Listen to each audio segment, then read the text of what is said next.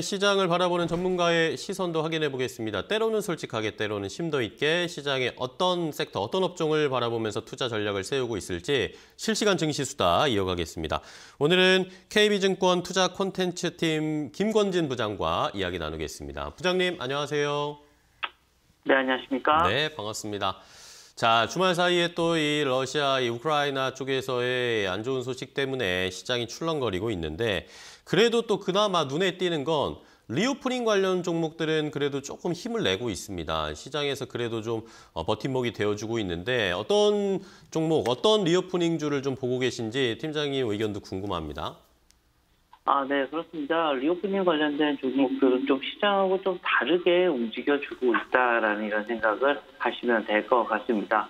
실제 우리나라에서는 여전히 지금 코로나 확산세가 지속이 되고 있지만 미국과 유럽 쪽은 이미 정점을 찍고 내려오고 있는 상황이다라는 겁니다. 이러한 이슈가 나오면서 실제 뭐 미국의 여러 개 주는 마스크도 벗어버린다라는 얘기 그리고 유럽 같은 경우도 이제 우리 여행이나 이런 것을 철폐할게요라는 얘기 그리고 뭐 호주나 호주 같은 경우도 다음 달 같은 경우는 여행 계획에 대해서 이런 자가격리 기간을 정지시켜주겠다라는 이런 식의 이야기, 즉 리오프닝을 준비하고 있다라는 겁니다. 전 세계가 이제는 reopening에 대한 이런 이야기가 조금 더 어, 계속해서 화두가 될 것 같고 우리나라 같은 경우도 아마도 어, 하반기 부터는 아마 reopening에 대한 이런 이야기가 계속해서 어, 논의가 되지 않을까라는 생각을 하실 수 있을 것 같습니다. 실제 이렇게 되면 여러분들이 가장 많이 생각을 한게 어, 여행주에 대한 이런 이야기를 많이 생각을 하실 겁니다. reopening 관련주 하면 거기가 가장 먼저 떠오르니까. 그런데 저의 생각은 어 거기도 좋은데 거기가 되면 그 다음으로 바로 되는데 바로 이 여행을 가면 여러분들이 카지노나 이런 쪽으로 많이 가 이렇게 어, 들르게 되고 실제 거기 매출이 올라갈 수 있는 하나의 이슈가 마련이 된다라는 이런 생각을 하시면 될 것 같습니다. 또 최근에 또 마카오 규제에 대한 이런 이슈가 나오면서 피해가 좀 더 될 수 있지 않나라는 생각을 하시면 될 것 같고요. 특히 이런 이슈들이 나오면 파라다이스나 GKL 등 외국인 카지노에 대한 이런 얘기가 또 긍정적으로 나올 수 있습니다. 또 우리나라의 강원랜드 같은 경우도 이번에 태블 개수를 좀 더 늘릴 수 있는 증축 과관이 지금 일어나고 있습니다. 실제 지금 연 면적보다 10% 이상 증축을 할 수 있는 게 지금 현재 통과가 됐다라는 겁니다.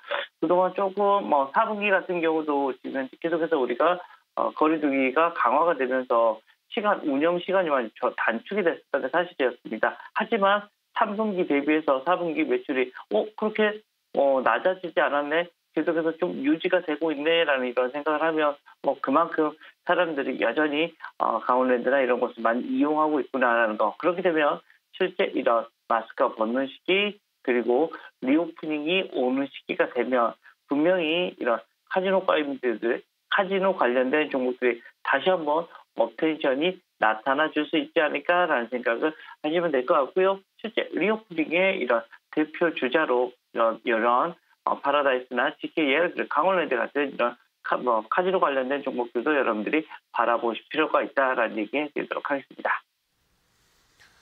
네, 말씀해 주신 것처럼 reopening 주 중에서도 카지노 관련주들을 좀 보자 하셨는데 카지노 관련주 몇 개가 있습니다. 어떤 종목을 좀 집중적으로 보고 계세요? 아, 저는 대표적으로 지금 이제 파라다이스 지금 현재 음. 계속해서 보고 있고요. 네네. 파라다이스 같은 경우는 지금 현재 외국인 이런 흐름, 외국인 카지노다 보니까 외국인들이 들어와야지만 숫자가 나옵니다. 그런데 지금 현재 어떻게 보면 아, 전 세계가 어, 셧다운이 되어 있다 보니까 여전히 지금 현재 당장 숫자가 나오느냐 안 나올 것 같습니다. 하지만 조금 달라질 거다라는 겁니다. 월별 카지노 매출이 조금씩 조금씩 조금씩 위로 올라와 줄 수 있을 것 같고요. 피카지노 같은 경우도 호텔 같은 경우도 지금 현재 상당히 잘 되고 있다라는 생각을 하시면 됩니다. 즉 메인은 카지노긴 하지만 피카지노 부분도 지금 현재 어, 숫자가 아주 잘 나오고 있고요. 실제 인천에 우리가 인천공항이나 이런 가보면 바로 그렇게 큰 규모로 이런 파라다이스 시티가 존재한다라는 거 여러분들 잘 알고 계실 거라 생각하시면 될 것 같고요. 뭐 외국인 카지노의 대표 주자이기 때문에 가장 많은 수혜를 받을 수밖에 없다라는 거 얘기해 드리겠고 또 reopening이 되기 시작하면 가장 먼저 실적 호전에 대한 이런 이야기가 나타나 줄 수 있을 것이다라는 얘기를 해드릴 수 있을 것 같습니다. 주가의 흐름들도 여기서부터 좀 더 긍정적인 흐름으로 갈 수 있기 때문에 거기서부터는 좀 여러분들이 관심을 좀 많이 갖고 지켜보시면 좋을 것 같다라는 얘기 드리도록 하겠습니다. 네, 부장님 말씀 잘 들었습니다. 앞으로 이제 reopening을 대비해서 미리 카지노 관련주 그중에서 파라다이스 한번 잘 살펴보도록 하겠습니다. 오늘 좋은 종목, 좋은 이야기 해주셔서 감사하고요. 다음 시간에 또 뵙겠습니다. 고맙습니다.